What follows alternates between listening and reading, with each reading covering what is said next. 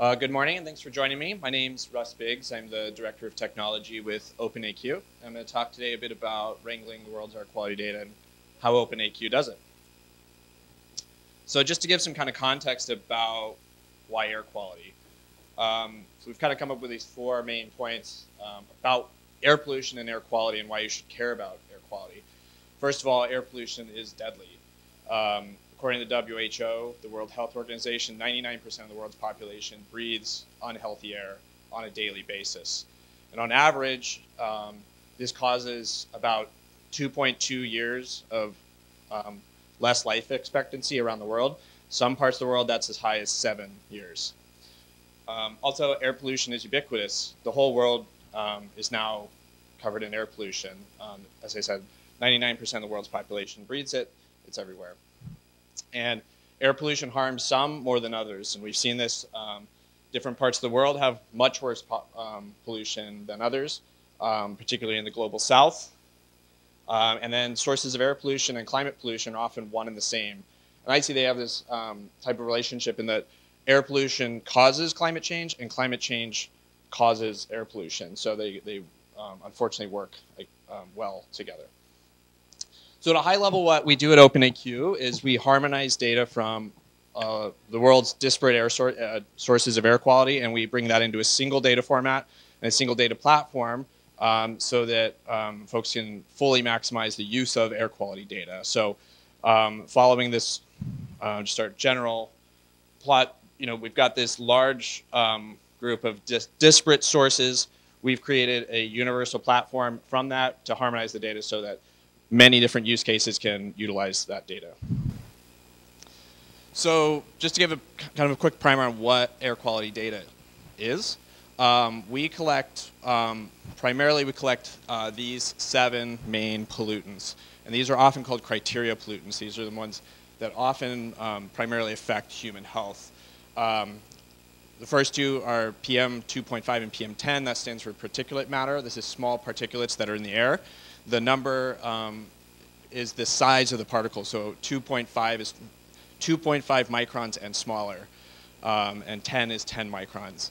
Um, the two, PM 2.5 is a very dangerous form of particulate matter. This can um, is smaller than the cells of um, blood in your blood, so it can pass through your brain um, membrane and causes a lot of health problems. This comes from wildfires, cars, cigarettes, these types of things, all particulate matter.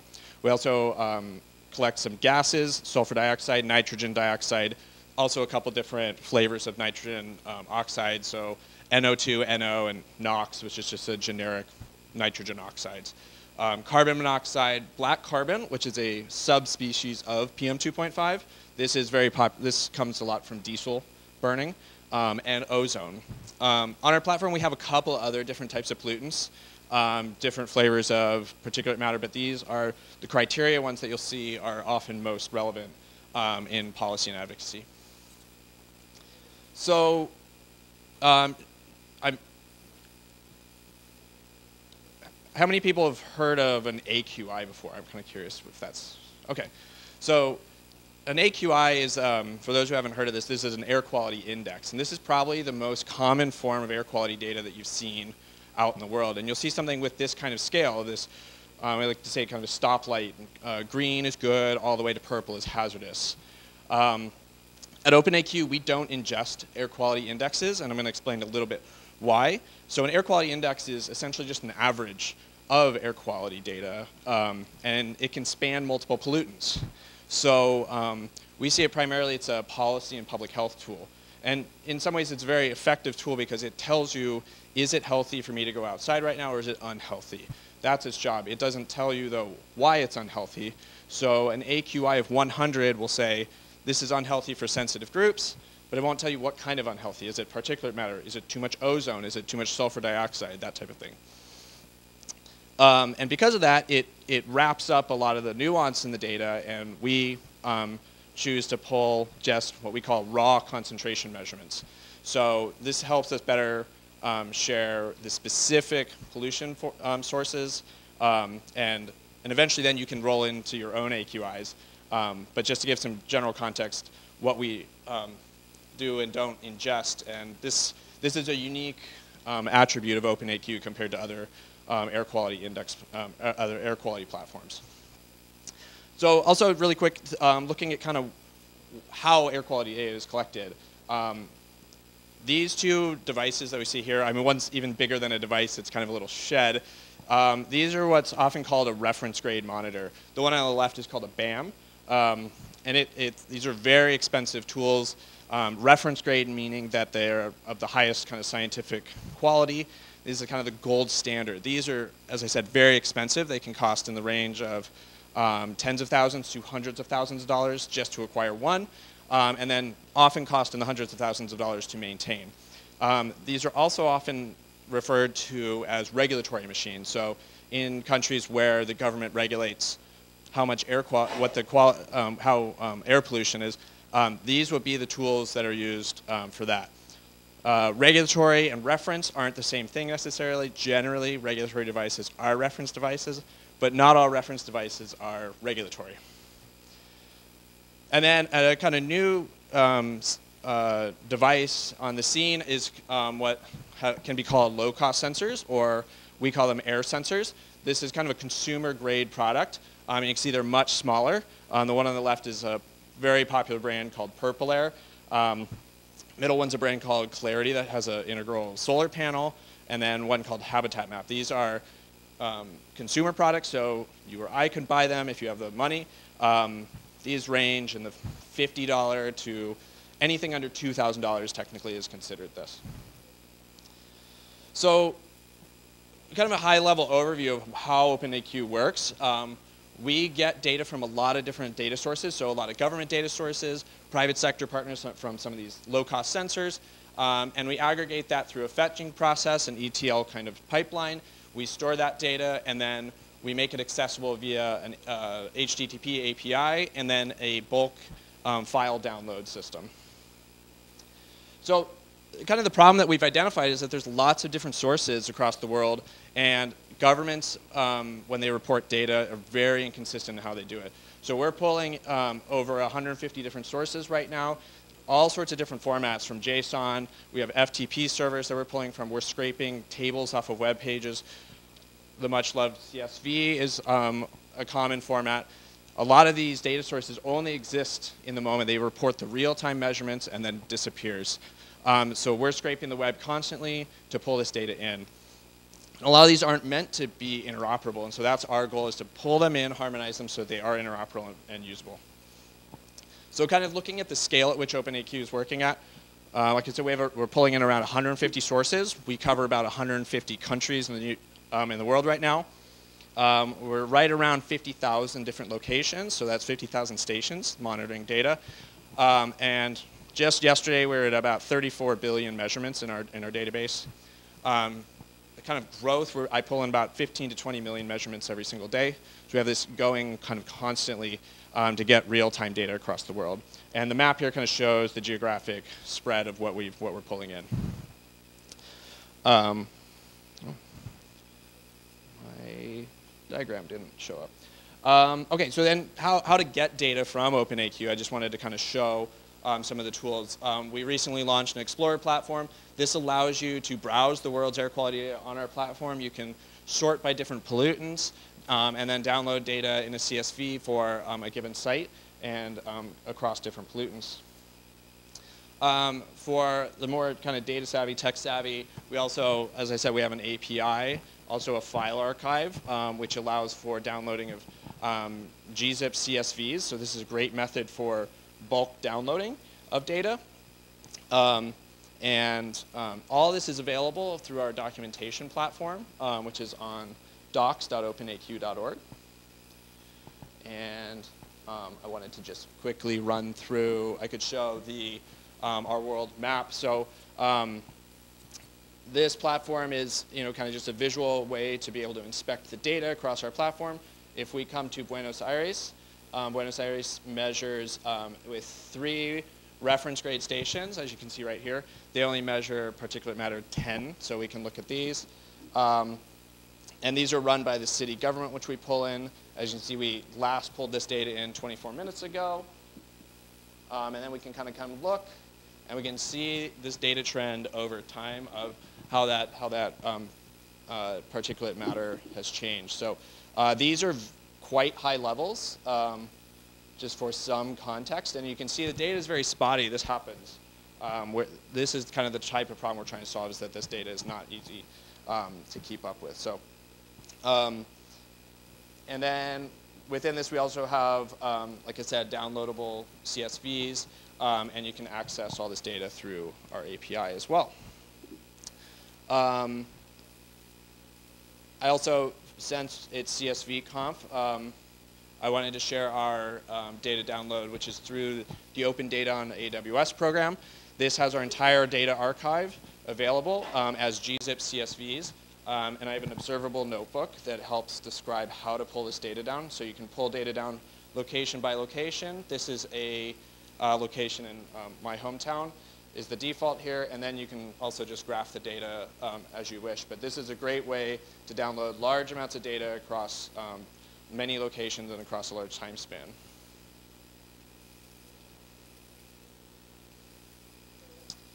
Um, so I'm going to go ahead and stop there, um, but uh, you can find us all over the web, openaq.org. We're on Twitter. We have a Slack space.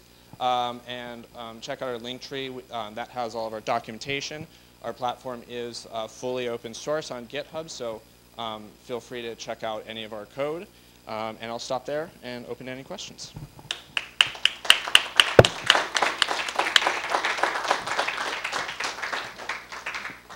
Thank you very much, Russ. Um, do we have any questions?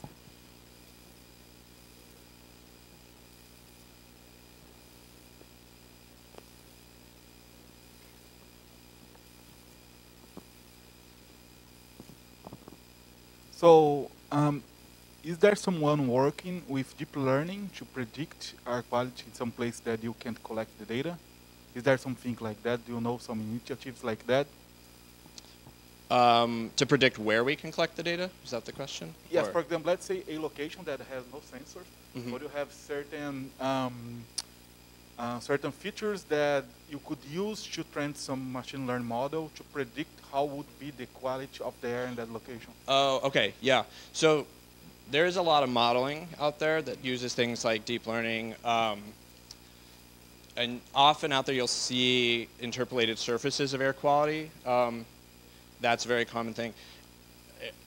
It's a very complicated thing to do, and I can't speak to how effective that is. We don't do as much on those types of data products, but um, I would take those types of sources sometimes with a grain of salt because it's extremely complex. Air is a very complex phenomenon. Uh, so what these stations monitor is, um, I mean, the characteristics of the device is very dependent on what that means. So um, they're very sensitive to heat and humidity, so it's actually a really complex um, interplay, even among these different pollutants, they interact with each other differently over time and with heat. So um, as, as the temperature rises, ozone can actually diminish other um, pollutants. Um, so it's extremely difficult to model, um, I think, effectively, unfortunately. so as, uh, and what we, are, what we advocate for is better monitoring coverage because the more you, the more you monitor, theoretically, the better you can model. So that's kind of what we're advocating for. But in very um, unmonitored areas, it becomes very uh, less less reliable, I would say. So, and if you saw the map, I mean, you can see quite clearly there's a huge disparity in the world where there is monitoring, yeah, and so there's a lot of interest in that type of work. But first, what we need is more monitoring. Mm -hmm. So places all across the African continent, um, large parts of South America have very little monitoring, um, and we'd like to see more monitoring to improve that. Thank you. Thank You may have, you may have mentioned this a bit, but how much of that gap can those really cheap sensors fill in, or how much, how much, you know, like if there's 5,000 miles where there's no regulatory sensors, but we find people to put up a little. Consumer sensor in their house, does that does that help, or is it kind of are those kind of yeah?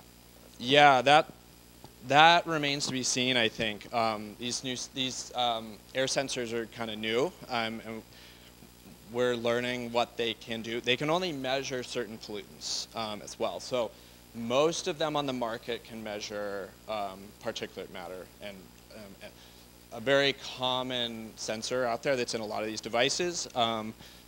It's become more obvious they can only measure PM 2.5, which is a more critical version, but a lot of them measured PM 10, and it's become obvious they can't actually do that very well. Um, we, we believe at OpenAQ, though, that um, low-cost sensors can be really powerful to help start to fill that gap. Even if they have certain weaknesses, that's a great place to start. Um, as I said, um, the reference monitors are extremely expensive, so the, the, disparity between the prices is quite high. So in some parts of the world, buying a half million dollar device and then maintaining it is just out of the question. So there's a lot of work that's happening um, to try that, but it, unfortunately it remains to be seen how effective they are. Um, in the United States, you can see there's a lot of coverage in the United States particularly. This is kind of very, you know, these was mostly these uh, um, low-cost sensors from consumers. Citizen science type of thing, install one in your backyard. Yep, yep. Um, but you see less of them in South America and in Africa even, um, because even at their price point, they're still somewhat inaccessible, unfortunately.